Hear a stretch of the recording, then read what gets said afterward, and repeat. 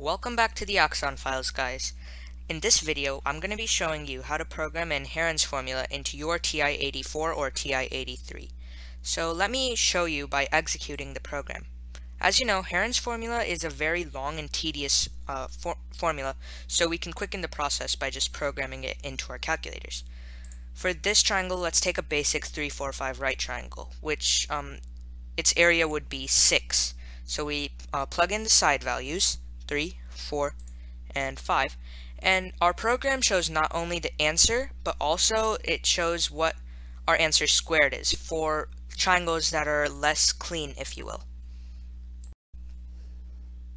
Okay, so I have cleared the calculator. If at any point in this video you find yourself getting a little behind, be sure to check the key press history down here so you can catch up.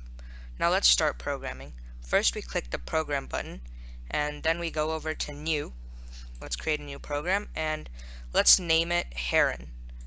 So um, I would recommend using the alpha lock by pressing second alpha and just typing it in our formula name.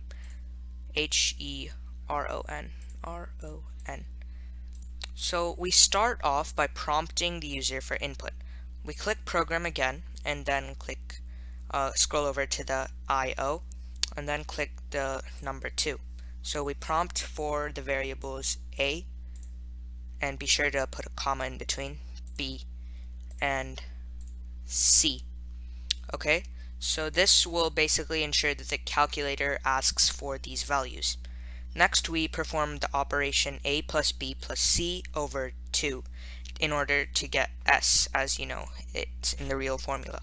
a plus b plus C. And put this in parentheses because if not, the calculator can get confused. And you'll often find that if without parentheses, the calculator will input something or output something very different. So divided by 2. And we store this as S. As you know, the actual formula goes S times S minus A times S minus B times S minus C. So what we're going to be doing is we're going to be putting that formula onto our calculator. So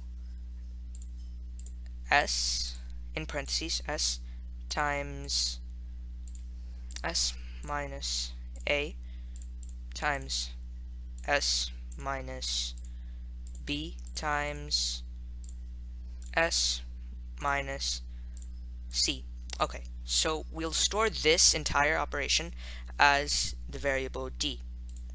And next we click enter and go to program, scroll over and then press 3 or disp or display.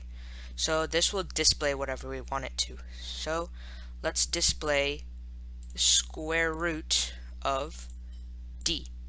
This is basically our, this is our actual area. Okay, now that we have uh, displayed the variable uh, D and the square root, square rooted it, we can click enter again and display again. And basically what we have to do is uh, type in or uh, this what we're gonna do is type in or the square root of and then square the square root of d which will give us like root 72 for example. Uh, let's do that now. Or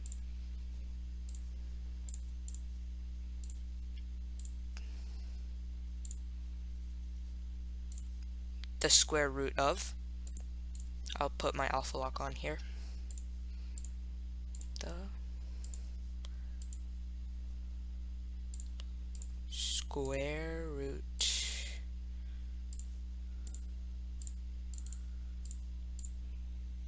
And then of. Okay. And we click enter. Don't be fooled by this. Then finally we click uh, we scroll over and click disp and just d instead of the square root of d. So this will show the square root of d squared Okay, now let's test out our formula. We click second quit and then program exec heron. Okay, now let's try a more complex triangle. How about a 7, 24, 25 right triangle?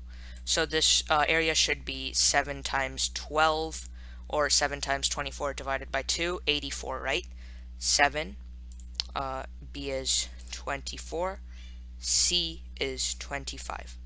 And we have our area as 84 or the square root of 7056 and we are done. Thanks for watching this Axon Files video and be sure to check out some of our other videos. Goodbye for now.